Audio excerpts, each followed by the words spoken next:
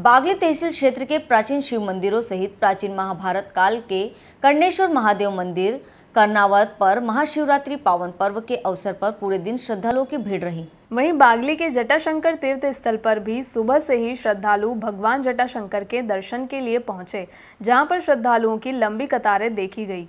इन प्राचीन मंदिरों पर पूरे दिन श्रद्धालुओं की भीड़ रही। बागली से रवि पाटीदार की रिपोर्ट।